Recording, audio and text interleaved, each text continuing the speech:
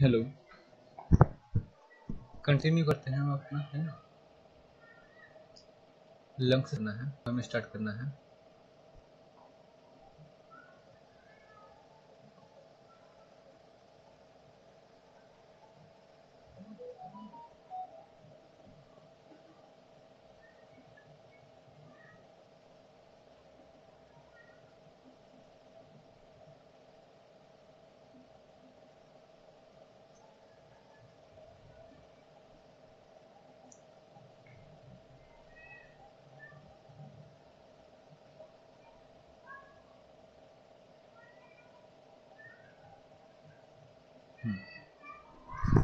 Lungs lungs हम क्या introduction दे रहा है basically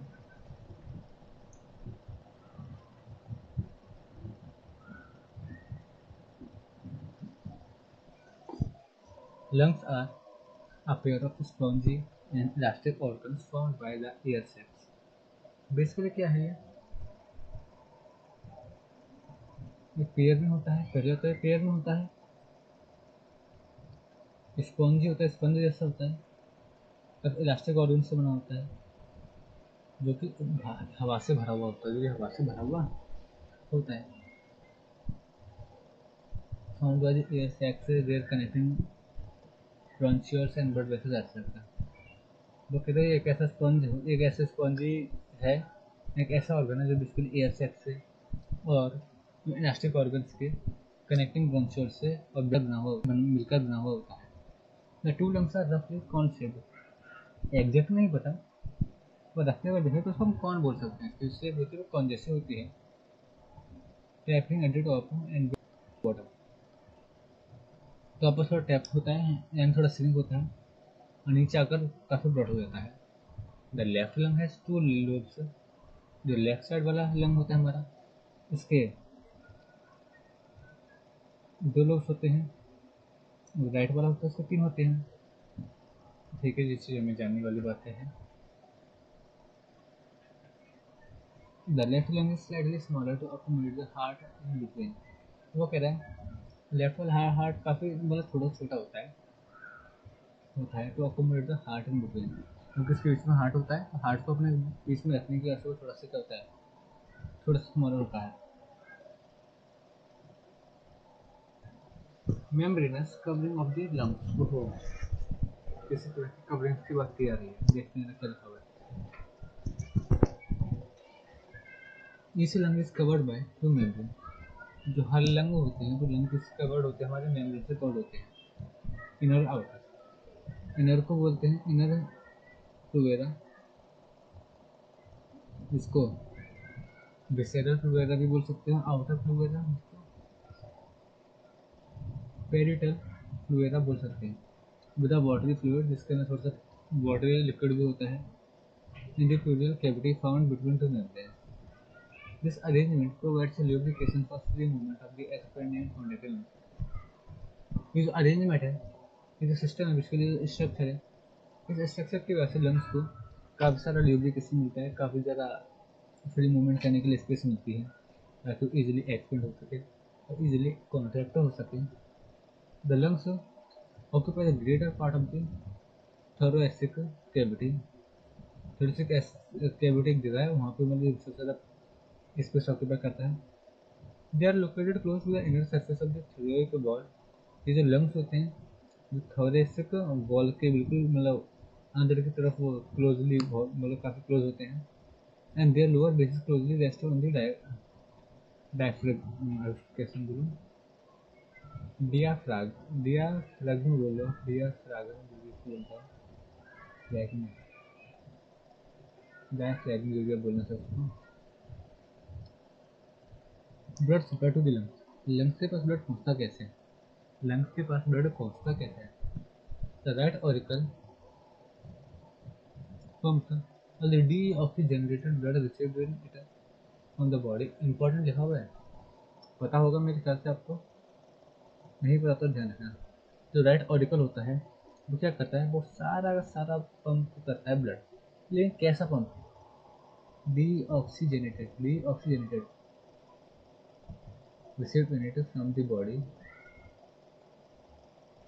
into the vital into the right ventricle यानी राइट ऑरिकल क्या करता है? राइट ऑरिकल ट्वेल्थ जो इसके पास जितनी बॉडी में ब्लड हमारे आया है, जितनी बॉडी में ब्लड आया है है ना? लेकिन कैसा ब्लड आया है? डी ऑक्सीजन यानी जो इम्प्योर कह सकते थे हमारी बॉडी में ट्रेवल करते करते खून के वजह इम्प्योर हो जाता है। जितने इम्प्योर ब्लड है, उसको ये क्या करता है? पंप करता है, उसको ये पंप करता है। तो गंदे और इम्प्योर ब्लड को ये पंप कर रहा है राइट वेंटिकल में। जो कि फिर क्या करता है? राइट वेंटिकल उसको इन इन टर्न यानी द्वारा से क्या करता है? पंप कर रहा है। लंग्स की तरफ़, जो कि मेन पुलमोनरी आर्टरी से हो जाता है। फिर पुलमोनरी आर्टरी क्या करती है? Soon after emergent divides into two branches ये दो पार्ट में डिवाइड हो जाती है। इंटर एंटरिंग द रेस्पेक्टिव अब वो दोनों लंग्स में पहुँच जाती है।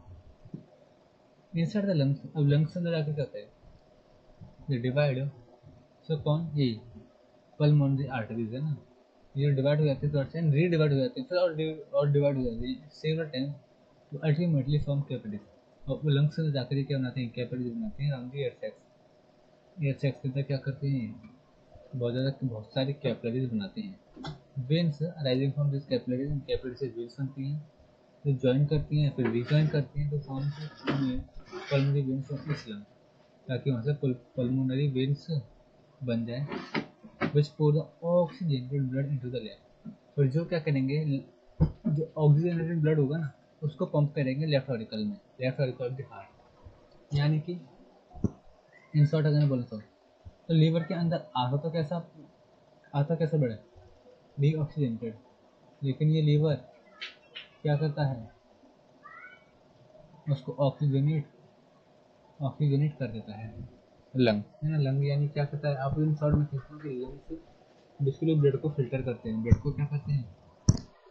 फ़िल्टर करते हैं। और फ़िल्टर करके हार्ट को ट्रांसफ़र कर देते हैं हार्ट को ट्रांसफ़र कर देते हैं। फिर अगर fourteen point six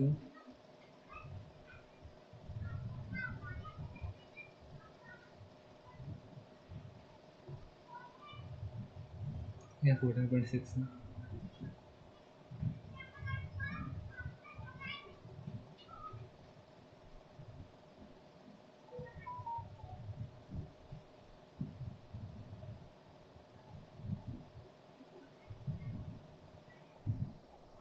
represents the branching of a respiratory passages in blood circulation in the lungs तो कहने ये बेसिक फिगर आपको बता रहा है सारी चीज़ों के बारे में तो bright red part represent oxidated blood तो यहाँ पर बहुत ज़्यादा रेड रेड पार्ट है राइट साइड में।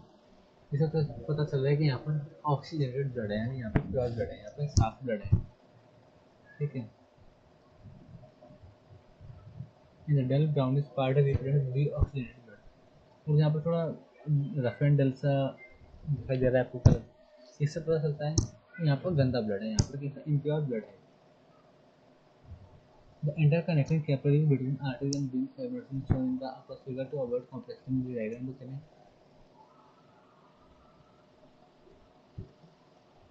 इन चीज़ों को आपस में कनेक्ट करने वाले टिश्यूज होते हैं। कैपिलरीज होती हैं। वो यहाँ पर सब नहीं की गई हैं, ताकि डायग्राम थोड़ा कॉम्प्लेक्स ना होता है The lower figure shown a shows a small, highly magnified part of lung depicting air sacs. The capillaries surrounding them in the connective pulmonary artery pulmonary vein. तो नीचे जो डायग्राम ये आपको बहुत डिटेल में मतलब कुछ चीज़ों को मैग्नीफाई करके आपको बता रहा है नीचे पुलमनरी वेन होती हैं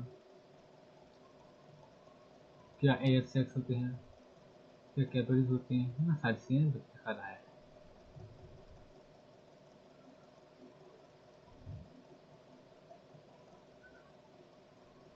ब्रीथिंग इम्पोर्टेंट टॉपिक है, यहाँ पे ब्रीदिंग और रेस्पिरेशन में सबसे डिफरेंस क्लियर होगा? रेस्पिरेशन प्रोसेस होती है, तब होती है और ब्रीदिंग से पार्ट होता है। ये तो हम अभी तक पढ़ चुके हैं। और आगे देखते हैं क्या है इन बीच मीनिंग बीच लगे चल पढ़ो। इस बॉक्स में बताइएगा रेस्पिरेशन में और ब्रीदिंग में। क्या डिफरेंस है? क्या डिफरेंस है? पहले रेस्पिरेशन का मीनिंग बता रहा है। कि रेस्पिरेशन एक ग्रीक वर्ड है, जहाँ पर री का मतलब होता है अगेन और री का मतलब होता है अगेन और एक्सपायरे का मतलब होता है, कुछ ब्लो करना। यानी दोबारा से ब्रो करना, दोबारा से ब्रो करना। और ये काफ़ी बड़ा टर्म है, ये काफ़ी बहुत बड़ा टर्म है। बड़ा टर्म मतलब इसका एक मीनिंग है, इसका मीनिंग अगर आप निकाल सको तो बहुत बड़ा मीनिंग इसका निकलेगा। मतलब मतलब कितना बड़ा मीनिंग है कि इसके अंदर शामिल होता है। इसके अंदर मीनिंग शामिल भी होता है। यानी इसका खुद, इसका अपने आप में तो एक मतलब अलग मीनिंग है ही है। लेकिन इसका मतलब के अंदर एक चीज़ शामिल होती है क्या? Intake of air and inhale जिसको हम ब्रीदिंग बोलते हैं, यानी रेस्पिरेशन एक बड़ा पार्ट है। ब्रीदिंग उसके अंदर आता है। ब्रीदिंग उसके अंदर है, मैंने आपको स्टार्टिंग बताया। था कह रहा है it is a broader term which includes intake of air या फिर आप कह oxygen and its utilization the body cells to produce energy इसका यूटिलाइज करके बॉडी के अंदर energy banana what breathing is simply a mechanical process breathing केवल एक प्रोसेस है। इसका इनहेल करते हैं और एक्सहेल करते हैं एक को in other words it is a muscular process it is a muscular process यहाँ पे मसल्स हमारे काम करते हैं। सो रेस्पिरेशन इंक्लूड्स ब्रीदिंग तो रेस्पिरेशन के अंदर ब्रीदिंग आती है। बट ब्रीदिंग के अंदर रेस्पिरेशन नहीं आता। रेस्पिरेशन बड़ा टर्म है उसके अंदर ब्रीदिंग आती है। ठीक है? तो respiratory cycle consist of inspiration और एक्सपायरेशन इंस्पायरेशन मतलब कि वाला इंस्पिरेशन नहीं है। ये इनहेल इनहेल इनहेल वाला और ये एक्सहेल वाला।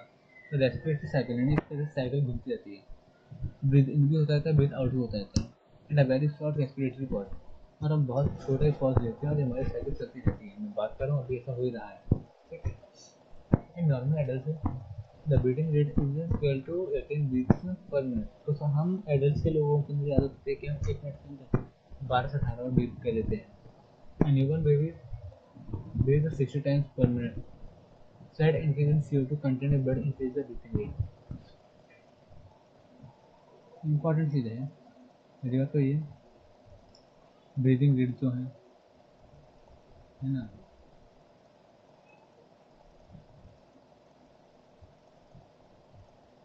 और दूसरा ये कि सी ओ टू के, अगर सी ओ टू का हमारे ब्लड के अंदर सी ओ टू बढ़ गया, थोड़ा सा भी चेंज अगर थोड़ा सा भी C O two carbon dioxide हमारे ब्लड के अंदर बढ़ गया तो हमारी ब्रीदिंग ब्रीदिंग रेट बढ़ जाती है तो हमारी ब्रीदिंग रेट बढ़ जाती है।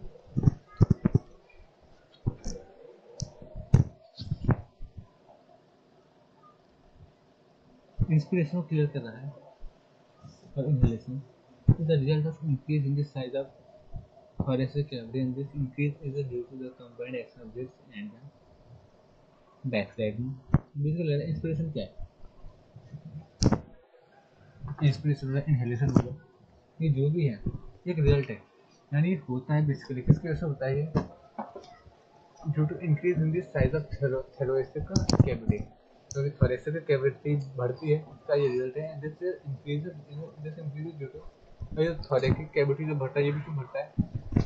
कुछ रिब्स और डायफ्राम के कुछ एक्शन होते हैं, जिसकी वजह से बढ़ता है। तो क्या होते हैं वो? वो भी आपको नहीं बताया।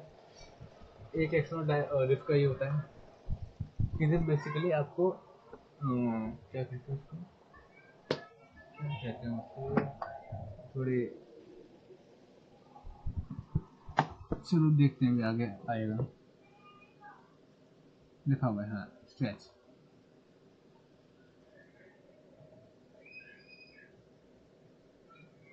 वर्ड नहीं आता मेरे पास।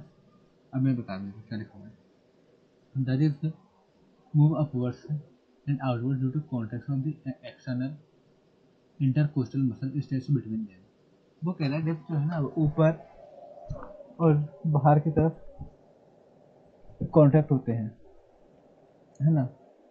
मतलब बाहर, वो बाहर की तरफ़ उठते हैं, ऊपर भी होते हैं और नीचे और बाहर भी होते हैं, ऊपर की तरफ़ भी मूव करते हैं बाहर की तरफ़ मूव करते हैं। क्यों? Due to contraction of the external intercostal अब यहाँ पे क्या लिखा हुआ है?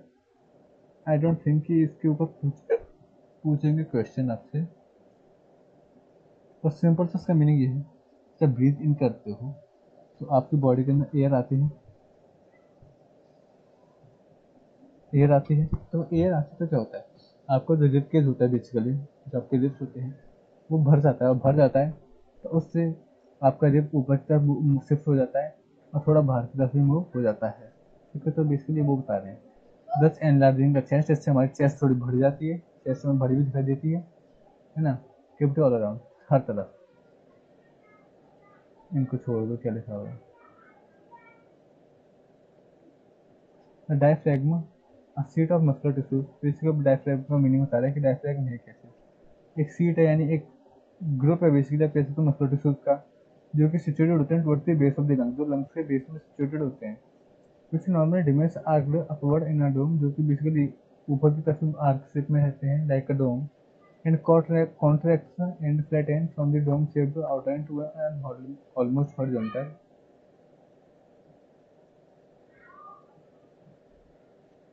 Plane, and thus contributes to the enlargement of the chest cavity lengthwise. ऊपर वाली जो हमने पढ़ी थी बेसिकली ये क्या थी? यहाँ जो चेस्ट है, हर तरह से भरी थी, हर तरह से। ठीक है? लेकिन डायफ्रैगमी की वजह से चेस्ट होती है कैसे बढ़ती केवल? उसकी लेंथ बढ़ती है। उसकी केवल क्या बढ़ती है? हाइट केवल उसकी बढ़ती है। Height as a diaphragm and क्योंकि डायफ्रैगम फ्लैट होता है फ्लैट होता जाता है फ्लैट होता जाता है it press the organ inside the abdomen सारे ऑर्गन्स को अपने एब्डोमेन के अंदर प्रेस करता जाता है and with the abdominal muscles relax और जो एब्डोमिनल मसल्स होते हैं रिलैक्स हो जाते हैं।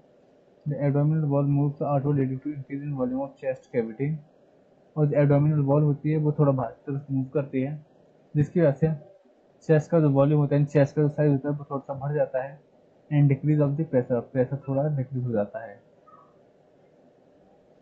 Decrease pressure in the lungs draws the air inward जैसे लंग्स के अंदर प्रेशर कम होता है तो बाहर से एयर को ड्रॉ कर देता है। In the outside air being at a greater greater pressure rushes into rushes rushes into equalize the pressure अब कह रहे हो कि बाहर का प्रेशर जो होता है वो काफ़ी ज़्यादा होता है तो वो हमारी बॉडी के अंदर एकदम से नहीं आता तो हमारी बॉडी के अंदर तभी आएगा जब हमारा प्रेशर क्या हो इक्वल हो जाएगा। बाहर पर हमारे बॉडी के अंदर का प्रेशर क्या हो जाएगा इक्वल हो जाएगा। तो बेसिकली हमारी बॉडी के अंदर आता है। When thoracic cavity increase in size जब यानी चेस्ट का कर रहा है, इस इंटरनल प्रेशर डिक्रीज वो कह रहे जब हमारी चेस्ट भरती है तो हमारा इंटरनल प्रेशर डिक्रीज होता है। The lungs expand and as a result, the lung pressure inside the lungs is lowered below the atmospheric pressure वो कह रहे लंग हमारे एक्सपेंड होते हैं, और जिसकी वजह से क्या होता है कि जो प्रेशर होता है लंग्स के अंदर का, वो काफ़ी कम होता है।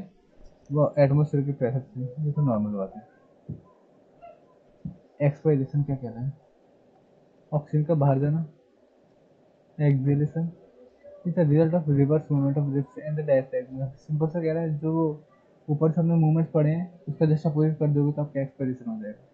तो external intercostal muscles relax in the ribs move in automatically वो कह रहा है। कि इनके जो मसल्स होते हैं बाहर के, वो रिलैक्स करते हैं। तो लिप्स तो ऑटोमेटिकली मूव करता है अकॉर्डिंगली ना? अकॉर्डिंगली जिस तरह की सिचुएशन होती है उसके अकॉर्डिंग है ना? तो डायफ्रैगम में रिलैक्स डायफ्रैगम में रिलैक्स होता है। And move upward to its dome like outline और ऊपर की तरफ़ मूव करता है। As a consequence of the above mentioned movements of digits and diaphragm, the volume of thoracic cavity is decreased. तो चेस्ट की जो वॉल्यूम होता है वो थोड़ा कम हो जाता है। In the lungs are compress और लंग्स भी दब जाते हैं। फोर्सिंग एयर आउट और जिसकी वजह से एयर बाहर चली जाती है एटमोसफेयर में।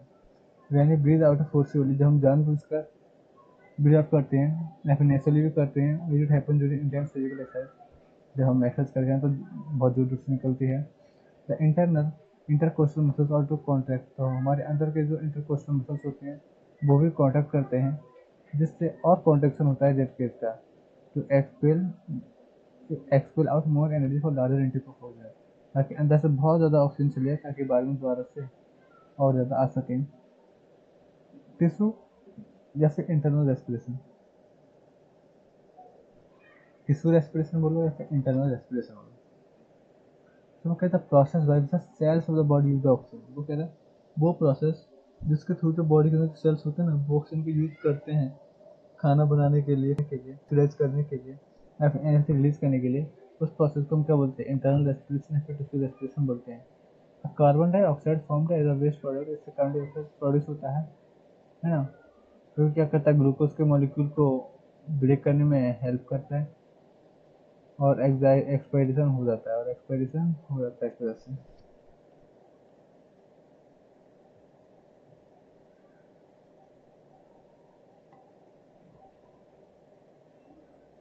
Capacity of the lungs espera, espera.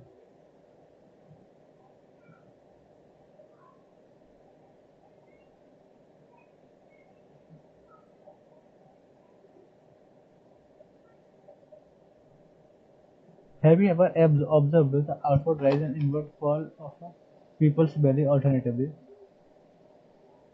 Inspiration, expression, now you know the reason for it. वो कह रहा है आपने तो ऑब्ज़र्व क्या हुआ जब लोग ब्रीथ इन आउट करते हैं, उनका पेट का जो होता है बेसिकली बेली का। और जो बेली का ही बेसिकली बोल रहे हैं तो बेली का जो मूवमेंट होता है आउटवर्ड और इनवर्ड वो बेसिक वो किस तरह से होता है। इनवर्ड इंस्पिरेशन के थ्रू वजह से होता है एक्सपायरेशन के होता है, आप जान चुके होंगे ऊपर है ना? तो वही पूछता है।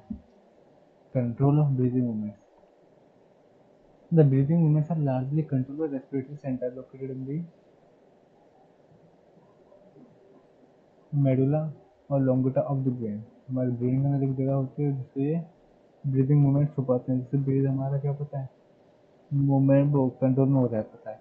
तो कह रहा है ब्रीदिंग मूवमेंट्स ह्यूमन ह्यूमन्स के अंदर क्या क्या ब्रीदिंग मूवमेंट्स होते हैं? कौन कौन सा होता है? कैसे कैसे मतलब क्या? वो कह रहा है पार्ट कौन सा बॉडी पार्ट हमारे इसमें रोल प्ले करता है? तो बात करें क्या इंस्पिरेशन इंस्पिरेशन की बात में बात करें। सब दोनों के एक साथ ही बात कर सकते हैं। इंस्पायरेशन एक्सपिरेशन इंस्पायरेशन का मीनिंग सिंपल सा। हवा के अंदर आना ब्रीद इन और उसका हवा का बाहर जाना ब्रीद आउट ब्रीद आउट है ना? तो बोला डाइफ तो पहले बता रहा है कि क्या फ़र्क पड़ रहा है डायफ्रैगम के ऊपर? डायफ्रैगम के ऊपर इंस्पिरेशन यानी इनहेल का क्या फ़र्क पड़ता है? और एक्सपिरेशन का यानी कि नेक्स्ट हिल का क्या फ़र्क पड़ता है? तो वो कह रहा है इंस्पिरेशन की वजह से क्या करें diaphragm contract and flatten downward diaphragm होता है वो कॉन्टैक्ट होता है, वो सिकुड़ता है और ज़ीरो भी हो जाता है, कभी नॉर्मल भी हो जाता है। कभी कभी वो फ्लैट भी हो जाता है कभी कभी फ्लैट भी हो जाता है, नीचे भी झुक जाता गिर जाता है। लेकिन जो एक्सपायरेशन होता है, उसका अपोजिट होता है। एक्सपायरेशन होता है, वो तो थोड़ा अपोजिट होता है। यहाँ पे रिलैक्स करता है, थकता नहीं है और नीचे की जगह ऊपर की तरफ़ जाता है to the dome shape to the dome shape action intercostal muscles तो जो एक्सटर्नल इंटरकोस्टल मसल्स होते हैं, वो इंस्पिरेशन के अंदर कॉन्टैक्ट करते हैं और एक्सपिरेशन के अंदर रिलैक्स करते हैं। इंटर इंटरनल इंटरकोस्टल मसल्स अब ये इंटरनल की बात हो रही है, ऊपर एक्सटर्नल की होती है, नीचे इंटरनल की होती है। तो यहाँ पे इंस्पिरेशन में अब इसका जस्ट अवॉइड करते हैं रिलैक्स करते हैं स्ट्रेच करते हैं, आराम करते हैं। और वहाँ पर वो कॉन्टैक्ट करते हैं बट फॉर फिक्स जो एक्सपिरेशन फॉर फिक्स जो expiration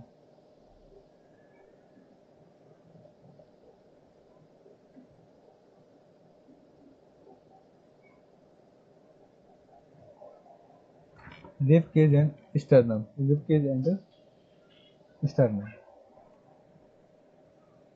Rib cage basically क्या करता है? बाहर तरफ़ मूव करता है और ऊपर की तरफ़ जब हम ब्रीथ इन करते हैं जब ब्रीथ आउट करते हैं तो सारे की सारी अंदर चले जाते हैं नीचे की तरफ़ चली जाती हैं। वॉल्यूम ऑफ़ थोरेसिक कैविटी यानी चेस्ट के कहता है, वो सर इंक्रीज होती है इंस्पिरेशन के अंदर और एक्सेलेशन के अंदर डिक्रीज होती है। ये प्रेशर की बात करें? तो decrease in side thorax lungs ये हमारे, क्या कहते हैं, हमारे चेस्ट के अंदर जो हमारे थॉरेक्स के अंदर लंग्स के अंदर, ये प्रेशर जो होता है थोड़ा कम हो जाता है। लेकिन वहाँ पे उसके उसमें एक्सपीरेशन की किस्म बढ़ जाता है। Air movement air movement external air pressure drives air into lungs at at a low pressure वो करें। स्टार्टिंग में देखें तो काफ़ी धीरे धीरे एयर जाती है। है ना? Air force out of the lungs by thorax compression and elastic while using recoil of lungs. वो कह रहा है एयर वो जो ज़ोर से बाहर आ गई लंग्स से, बस थॉरेक्स कंप्रेशन थॉरेक्स से कंप्रेस करने से, और इलास्टिक का वो रिकॉल हो जाती है लंग्स की वजह से. कुछ सही नहीं यहाँ पर।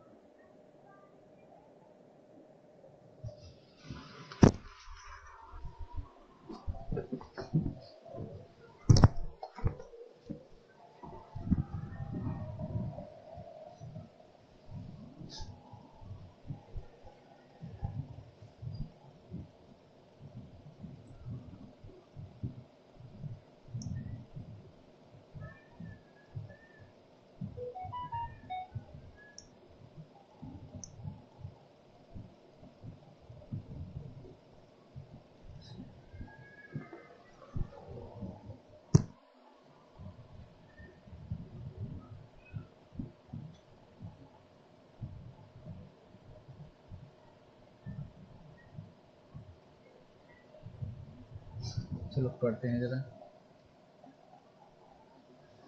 तो पढ़ लिया कि ब्रेन का कौन सा पार्ट इसको कंट्रोल करता है basically the center stimulated by वो एक वर्ड आया स्टिमुलेट स्टिमुलेट का मतलब? एक्साइटेड करना। ये जो ब्रेन का जो पार्ट है ना जो काम करता है किस वैसे पार्ट एक्साइटेड होता है? एनर्जी कहाँ से आती है?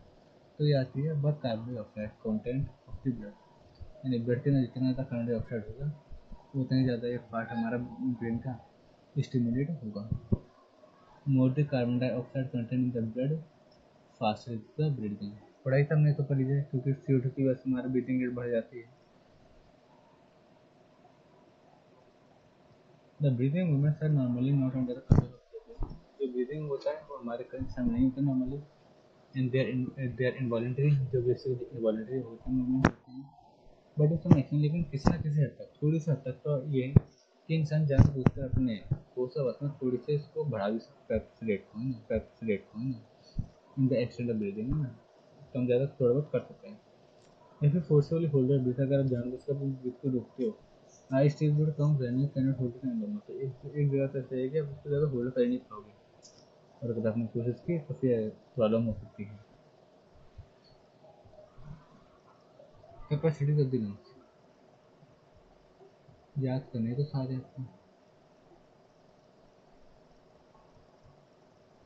of the lungs or the respiratory volume normal human adult are approximately as follows वो कह रहा है आपके लंग्स की कैपेसिटी होती है तो बहुत ज़्यादा याद तो टाइप में दे दिए हैं tidal volume inspiratory reserve volume inspiratory capacity expiratory reserve volume vital capacity reserve volume total lung capacity इन सबको आपको याद रखना है। तो पहला बात करते हैं टाइडल वॉल्यूम ये breathing and out in normal normal quiet breathing यानी आप एकदम नॉर्मल नॉर्मल आप ब्रीद कर रहे हैं नॉर्मल नॉर्मल तो उसकी कैपेसिटी है 500 एम तक स्टोर करके रख सकता है इसके अंदर। Dead air space dead air space मतलब some tidal air is left in respiratory places such as trachea and bronchi, where no diffusion gases can occur वो कह रहा है, कुछ एयर तो एकदम ऐसी जगह पे होती है जहाँ पे फालतू की स्पेस रखी जाती है। रेस्पिरेटरी पैसेज के रेस्पिरेटरी पैसेज के अंदर फंस जाती है। तो वो कितनी फंस जाती है? One fifty M L one fifty M L air जो कि एलिबोलर के अंदर हो, यानी सीयर एक्स एयर सेक्स के अंदर हो तो बहुत खिल सकती है तो टोटल मिलाओगे आपको? तो टोटल मिला के आपका फाइव हंड्रेड बैठ जाएगा, ठीक है?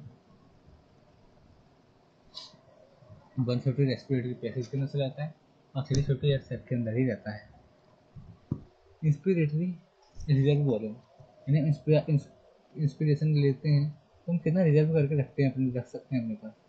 ये that can be drawn in socially over and over tidal air article complementary air यानी हम जानबूझ के है ना जानबूझ के दोस्तों कितने एयर कंट्रोल कर सकते हैं अपने अंदर three thousand M L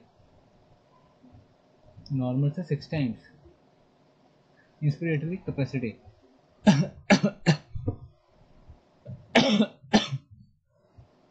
tidal volume total volume of of uh, of air a person can breathe uh, breathe in after वो कह रहे हैं आपकी इंस्पिरेशन कैपेसिटी है वो थ्री फिफ्टी हंड्रेड वो thirty five hundred M L की है। एक्सपीरेटरी रिज़र्व बोलो। एक सौ चार हज़ार इंस्पिरेटरी का तो ये एक्सपीरेटरी का थ्री थाउज़ेंड वन थाउज़ेंड ठीक है। Vital capacity vital capacity the volume of air can be taken in and expel out by maximum inspiration and expiration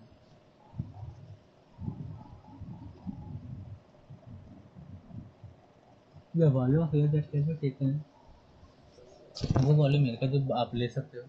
और एक्सपेल कर सकते हो बाय मैक्सिमम एक्सपिरेशन और एक्सपिरेशन बोलते हैं forty five hundred residual volume some air is always left in the lungs वो कह रहे कुछ तो रेजुअल मतलब कहता बचा बचा। आपको इसमें पहले बता चुका हूँ तो कुछ एयर तो ऐसी होती है जो हमेशा जो मतलब हमेशा बची रहती है लंग्स में। जब कितनी भी कोशिश करो ब्रीद आउट करने की, वो ब्रीद के अंदर वो आपके लंग्स में रहेगी रहेगी।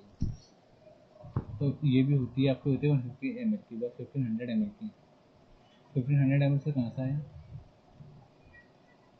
अब मैं आपको ये बाद में ये अब मैं आपको कैसे बताऊँ बताऊँ बताऊँ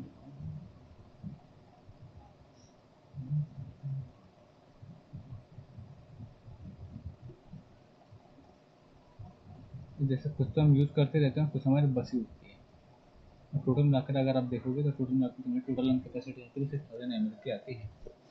ठीक है, दोनों एस की मिला के दोनों उनकी मिला के मिला के your respiratory volumes are in millimetre millilitre से तुमने पढ़ेगी In a normal human adult, our swimming figure 14.8 and has been summarized in the box.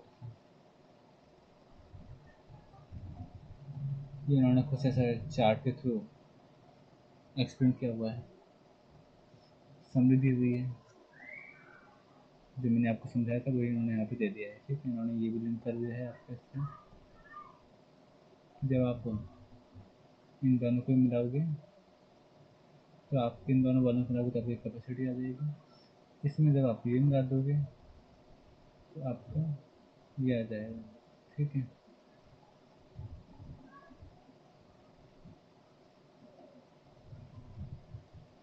Progress check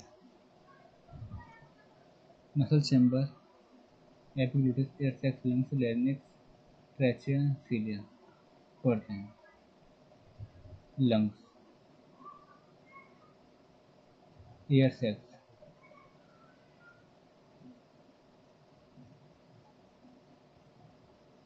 देखते हैं उसमें larynx सी शेप्ड रिंग्स है ना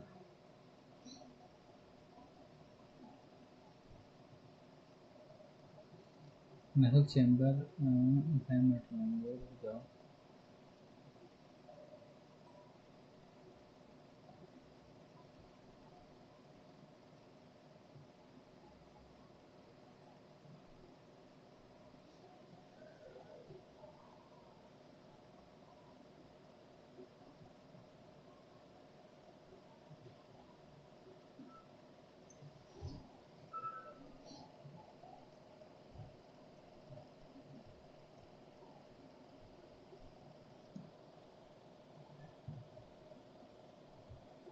मेटल चैम्बर आपको हो सकता है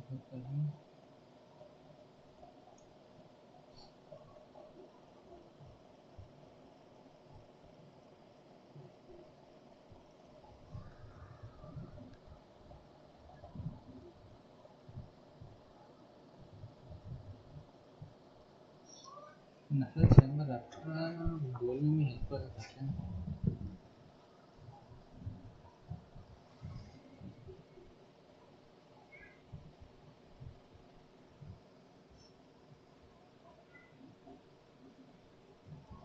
नसल चैम्बर तो वही था ना भाई नर्स में होता है।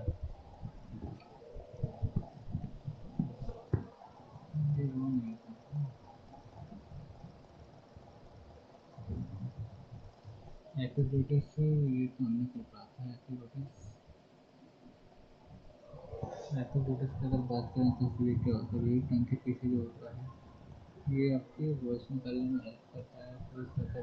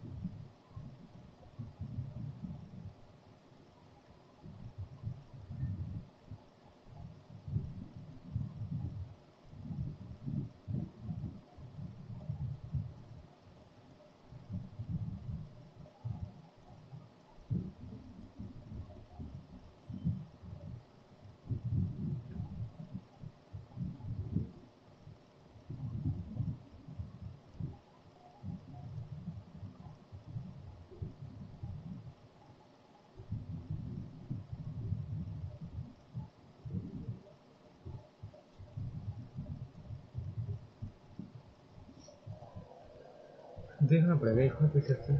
हाँ देख लेंगे आगे देखते हैं। हाउ द फॉलोइंग अच्छा ये कब कैसे हो? जाएगा सेकंड हो जाएगा ये और ले रहे हैं। नेक्स्ट का लंग कैपेसिटी रेजिडुअल ये रही। वाइटल ये रही। टोटल ये रही। डेड ये रही। हम्म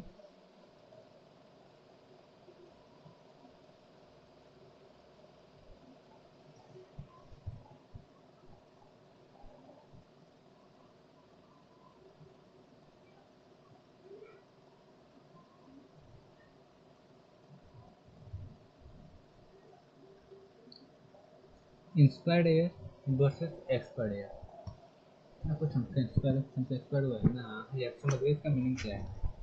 मेरे को लगता नहीं कि आप मतलब मीनिंग क्या करूँ चैप्टर में बताया वो तो पढ़ना ही। पड़ेगा पर इसके रफ मीनिंग आप समझ गए। एक्सपायर्ड मतलब क्या? वो एयर जो हम ब्रीथिंग करते हैं हमारी बॉडी के अंदर आती है और एक्सपायर्ड एयर वो जो हमारे लंग्स से बाहर जाती है।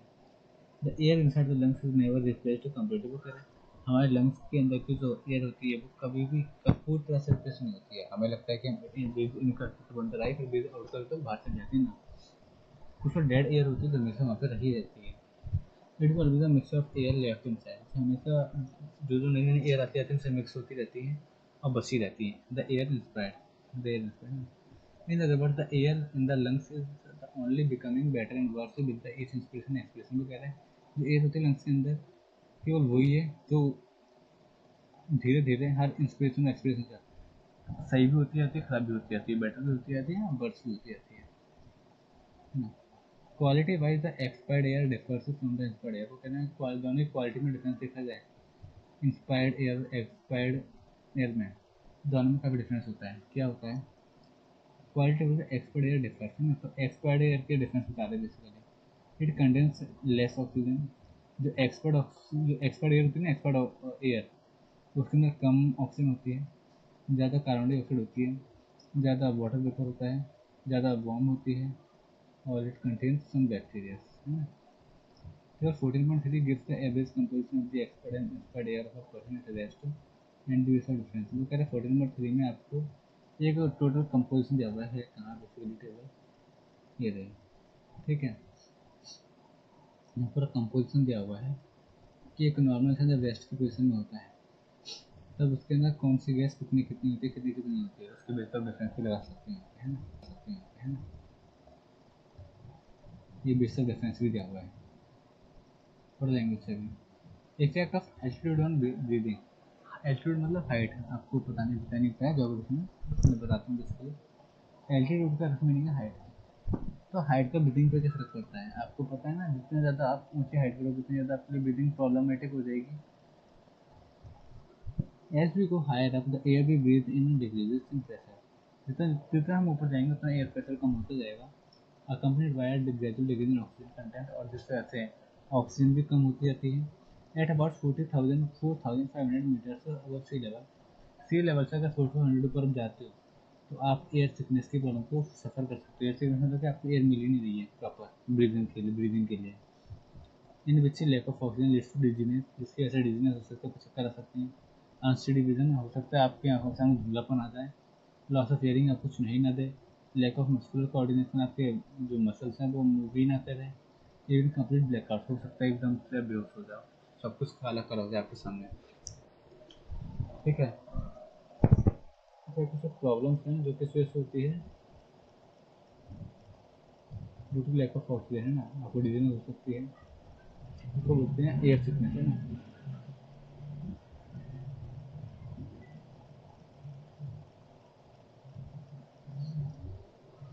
Hypoxia and asphyxiation asphyxiation पता नहीं क्या है जो भी है। Hypoxia is the deficiency hypoxia की कमी है, एक कमी है बेसिकली डेफिशिएंसी ऑफ़ ऑक्सीजन जो आपकी बॉडी के अंदर ऑक्सीजन की कमी होती है एंड अरीसिंग टिश्यूज एक ऐसी डेफिशिएंसी टिश्यूज को हो जाती है, जब ऑक्सीजन की कमी होती है हमारे अंदर. इस कमी की वजह से क्या होता है? इट में रिलेटिव ऐसा हो सकता है due to sitting for long hours in a crowded room ऐसा क्यों हो सकता है? अब बहुत देर तक, बहुत देर तक एक भीड़ भाड़ वाले एरिया में बैठे हुए पुअर वेंटिलेशन जहाँ पर खिड़की ज़्यादा अच्छे से नहीं है. तो यहाँ पर वेंटिलेशन का मतलब है जहाँ पे हवा पास होने वाला सिस्टम अच्छे से नहीं है, यहाँ पे हवा अच्छे से फ्रेश एयर अंदर बाहर आने पा रही है ना। इट में ऑल्सो भी एक्सपीरियंस हाई एल्टीट्यूड ये आपको हाई एल्टीट्यूड पर भी आपको फील हो सकता है where the oxygen content of the air is low है इंपॉर्टेंट है ये। और ये वाली बीमारी या कंडीशन इन विच ये कंडीशन है जहाँ पर ब्लड जो है becomes more venous venous the activation more carbon dioxide and the oxygen supply is demise हो। वो कहे तो ये एक, इतनी तेज मतलब सिचुएशन है, जहाँ पर आपको कार्बन डाइऑक्साइड बहुत ज़्यादा जाता है। जो ऑक्सीजन होता है ना ऑक्सीजन के अंदर वो बहुत, वो बिल्कुल ही खत्म हो जाता है, वो कम हो जाता है। और इसकी वजह से और ये सब होता है, जिसमें सेलर कॉजेज के बहुत सारी विधा हैं।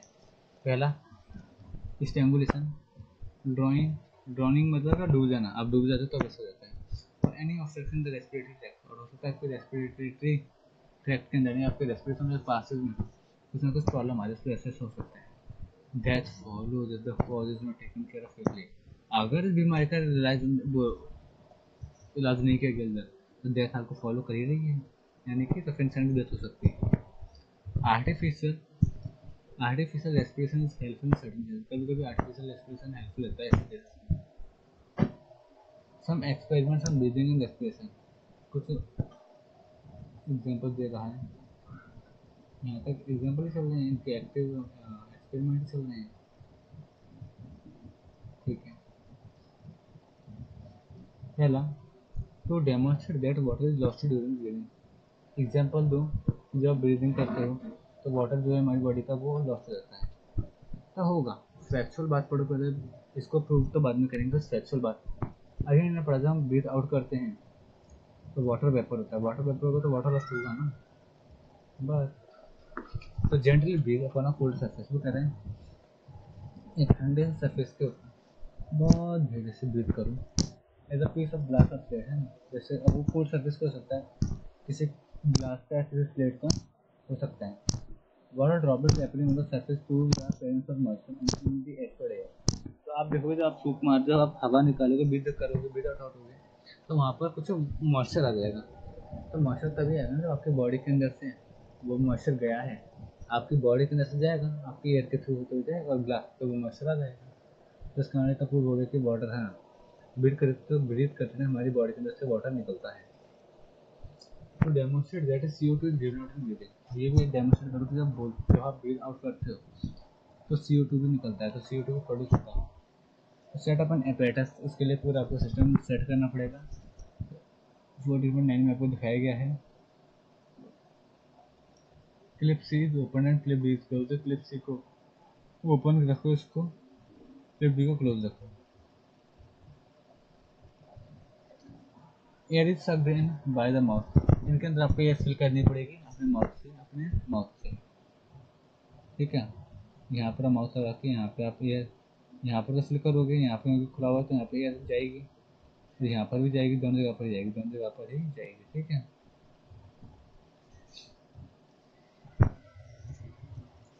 Atmospheric air reaches the flask के? फ्लास्क एक के अंदर एटमोस्फेरिक एयर भी आएगी फ्लास्क एक के अंदर एटमोस्फेरिक एयर भी आएगी यहाँ से जगह है।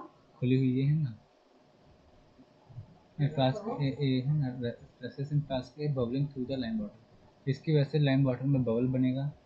एटमोस्फेरिक एयर की वजह से next clip C is closed clip C is close clip C को क्लोज करो। And clip B is open अब क्लिप सी को क्लोज करो। क्लिप बी को ओपन करो। क्लिप बी को क्या कर दो? ओपन कर दो। Air is drawn through some central tube आप देखोगे तो सेंट्रल ट्यूब में से कुछ एयर बाहर निकलेगी। This time the air is force into flask इस बार ये जो एयर है, ये यहाँ से फोर्स के फ्लास्क के बीच में चली जाएगी। Bubbling through slime water the process repeat और टेन मिनट ये प्रोसेस रिपीट होगी लगभग दस मिनट में। The lime water in flask B turns milky जो लाइम वाटर इसके दिया हुआ है, ये मिल्की हो जाएगा थोड़ा सा number first then flask A flask इसकी कंपेरिजन में इसकी स्पीड थोड़ी ज़्यादा होगी। इससे प्रूव होता है कि सी ओ टू एक्सपायरेशन में ज़्यादा बनता है। ना जैसे हमने यहाँ पे ऑप्शन डालने की कोशिश की यहाँ पर बहुत जल्दी प्रोसेस होने है। to demonstrate the action of the diaphragm during breathing. वो क्या डायफ्रैगम का रोल क्या होता है ब्रीदिंग के अंदर? तो वो समझो जरा तो क्या एक्सपेरिमेंट है? सोनिंग टू द 14.10 ये लंग्स ले लिए बेसिकली उन्होंने ऐसे डेमोस्ट्रेट करने के लिए। The rubber sheet tied around the bottom edge एक रबर शीट आपने बना दी, ये धीरे rubber sheet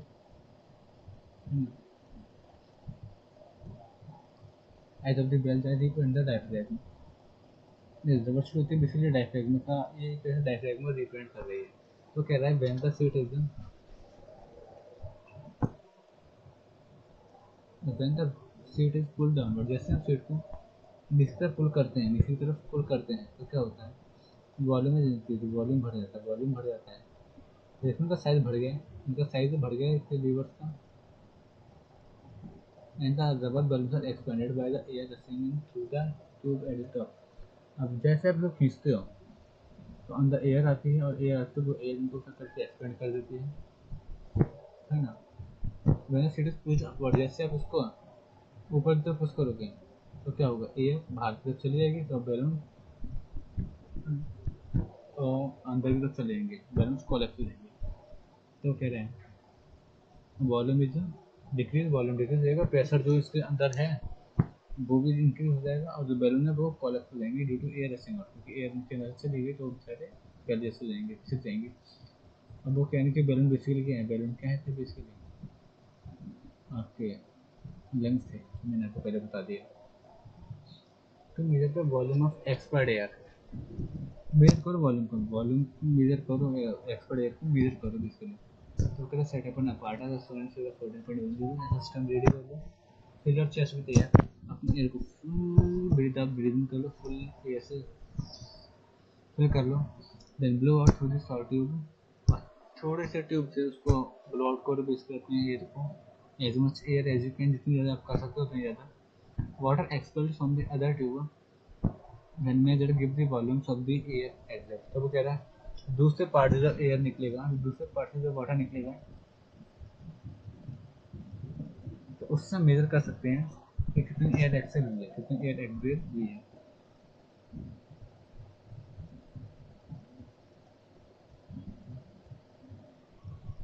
तो so that oxygen is taken annual during respiration कह रहा है। एक्सप्लेन वो प्रूव करो शो करो। एनिमल जब रेस्पिरेशन करते तो उनके अंदर भी ऑक्सीजन जाती है। ये क्या पूछते हैं question ji? Use a small animal such as a cockroach और रेड इन दिस एक्सपेरिमेंट को करें। इसके लिए छोटे छोटे एनिमल्स यूज़ करूँ। कॉकरोच हो गया रेड हो गया इनको। चींटी मत ना दिखाई भी नहीं देगी है ना। Take two conical flask A and B दो conical flask A and B place live cockroach एक ज़िंदा कॉकरोच जो ना मारने देना उनको, ठीक है? लाइव कॉकरोच लो उनको। क्या करो? In class A, in a dead cockroach that has been soaked in formalin to prevent decay in the other class B, वो कह रहा एक लाइव लो और एक डेड लो। तो डेड को तो क्लास ए के अंदर डाल दो डेड बी को और जो डेड हो गया उसको क्लास बी में डाल दो। लेकिन उसके ऊपर एक वो डाल देना केमिकल ताकि कोई केमिकल रिएक्शन ना हो, ताकि कोई लॉस वगैरह ना हो, ठीक है? जैसे फ्लास्क में dead cockroach X as a control जो कि अब देखो ये कंट्रोल का डेफिनेशन पढ़ लिया था। जिस चीज़ को हम प्रूव करना चाहते हैं और उस चीज़ को हम मिस कर दें तो वो वाला केस हमारा कंट्रोल बन जाए तो ये वाला हमारा क्या है?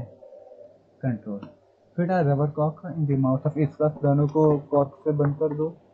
And make sure that the apparatus is air tight और ये पक्का कर लेना कि इनके अंदर एयर पास ना हो पाए ना दोनों एयर टाइट हो। Leave the flask for a few hours दोनों को कुछ घंटों के लिए छोड़ दो। After which introduce a small burning candle उसके बाद क्या करो? थोड़ी सी एक बर्निंग कैंडल लाओ। शोइंग द फिगर भी, जैसे अंदर है। ठीक है?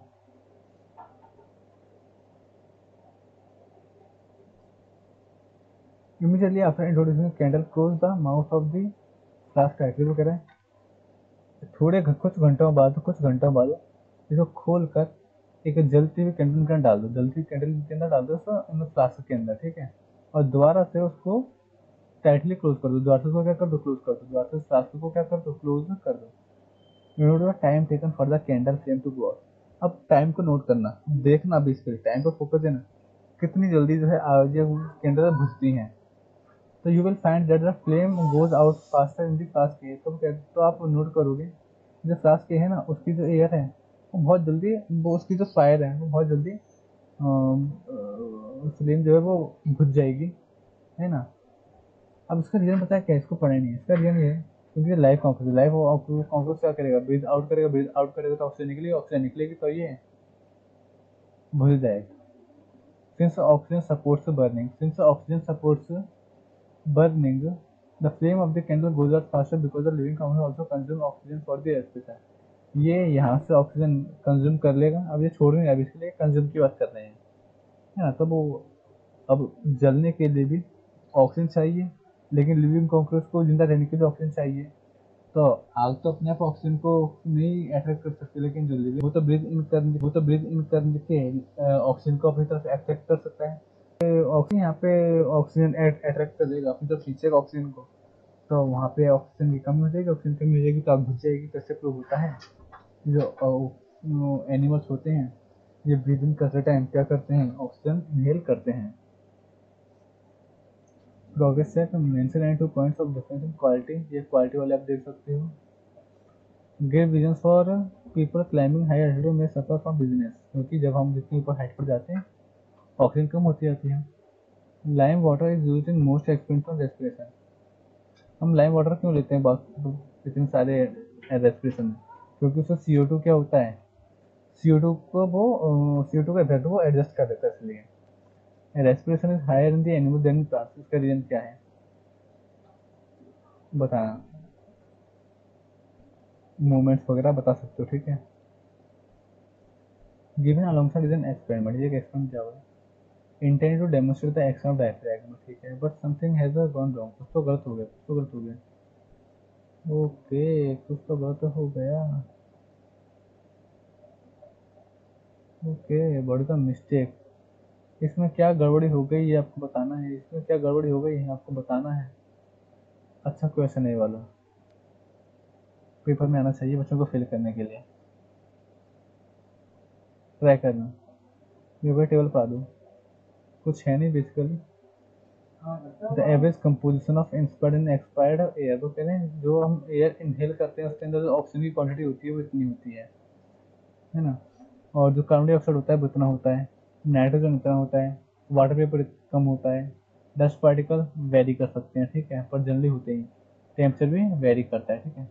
लेकिन जब हम एयर बाहर बाहर एक्सपायर करते हैं, उसके अंदर इतनी ऑक्सीजन होती है, उसके अंदर इतना कार्बन डाइऑक्साइड होता है, उसके अंदर इतना ऑक्सीजन होता है, वो नाइट्रोजन होता है, उसके अंदर वाटर पेपर ज़्यादा होता है डस्ट पार्टिकल बहुत कम होते हैं अगर हैवी है तो। और यहाँ पे नॉर्मल बॉडी टेम्परेचर इतनी हीट होती है, उसके अंदर ज़्यादा नहीं होती है। बेस ऑफ़ डिफरेंस, अभी तक जो डिफरेंस आया है इनके बीच में, इनके बीच में डिफरेंस है बेसिकली जो बीस और सोलह में डिफरेंस है, जो पॉइंट ज़ीरो फोर और फोर में डिफरेंस है, ये बेसिकली डिफरेंस क्यों है? तो ये कह रहा है क्योंकि जब हम एक्सपायर करते तो ऊटू जो है ना, वो एब्जॉर्ब हो जाता है, वो बेसिकली एब्जॉर्ब हो जाता है तो एब्जॉर्ब हो जाता है तो वो कम रह जाता है तो बॉडी के तो वो बाहर जाते जाते थोड़ा कम हो जाता है। यहाँ पर तो हम जब एक्सेल करते हैं तो सी और प्रोड्यूस होता है नया तो प्रोड्यूस होता है तो वो नया बन जाता भर गया ये। ये हम यूज़ ही नहीं करते नाइट्रोजन ज़्यादा यूज़ ही नहीं करते तो ये ऐसे ही रह गया।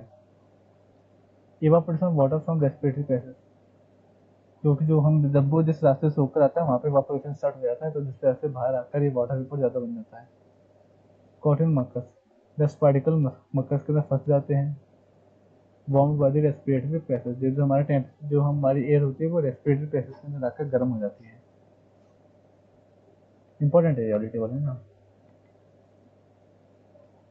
मुझे नहीं पता, पीछे क्वेश्चन पूछे नहीं पूछे, पर इसके बाद पूछा जा सकता है। Table 14.4 comparison of respiration plants and animals तो कुछ सिमिलरिटीज हैं। सिमिलरिटीज क्या है? कि एक cellular respiration produce energy stored in ATP and inside mitochondria ATP तो बनता है, पर डिफरेंस हमने ये पढ़ा है कि एक में ज़्यादा बनता है, एक में कम बनता है। पर बनता है ये कॉमन चीज़ है। एरोबिक रेस्पिरेशन से और सी बनता है वाटर वेपर ये भी सेम है। डिफरेंस क्या है? No external ventilation movement plant के अंदर कोई भी ब्रीदिंग मूवमेंट नहीं होता मतलब बाहर से नहीं होता, है ना? एनिमल्स के अंदर एक्सटर्नल वेंटिलेशन मूवमेंट होता है, ठीक है? कुछ स्मॉल एनिमल्स को छोड़ के लाइक अमीबा और हाइड्रा को छोड़ के। No special gas transport system plant के अंदर कोई स्पेशल गैस ट्रांसपोर्ट सिस्टम नहीं होता, लेकिन इनके अंदर blood transport blood system transport blood system होता है, जो कि क्या करता है? ऑक्सीजन को ट्रांसपोर्ट करता है। एनारोबिक रेस्पिरेशन फॉर्म से एस वन सी टू इसके दोनों बनते हैं, इसके अंदर लैक्टिक एसिड और एसिड ही बनता है सी टू नहीं बनता। ना एनारोबिक किसके अंदर एनारोबिक ये मतलब यहाँ पर भी लिखा तो बनता है। तो ये एरोबिक है, ये एनारोबिक है। Green plants produce little detectable heat जो ग्रीन प्लांट्स होते हैं, वो बहुत कम ना के बराबर हीट प्रोड्यूस करते हैं, लेकिन एनिमल जो होते हैं बहुत ज़्यादा हीट प्रोड्यूस करते हैं। आप उसको कंसिडर कर सकते हो। Green plants addition oxygen source photosynthesis green plants के पास ऑक्सीजन के अलग से सोर्सेस हैं तो जैसे फोटोसिंथेसिस के थ्रू भी उनके पास ऑक्सीजन आती है। और कह रहे हैं यहाँ पे aerobic animals have only air is the oxygen source during breathing वो कह रहे हैं इंसानों के पास तो अगर ब्रीदिंग की बात करी जाए तो केवल ऑक्सीजन केवल एयर ही उसका ओनली सोर्स है। ये मैं बोला सर ऑक्सीजन सिलेंडर भी, नहीं ऑक्सीजन सिलेंडर नॉर्मली बता रहा नॉर्मली तो एक ही सोर्स है, हमारे पास केवल एयर रेस्पिरेशन रेट में लो होती है, इनमें हाई होती है। ठीक है? पूरी चैप्टर होमवर्क है, बता देना, मिल जाए आ जाए तो नहीं आए तो मुझे बता देना, ठीक है?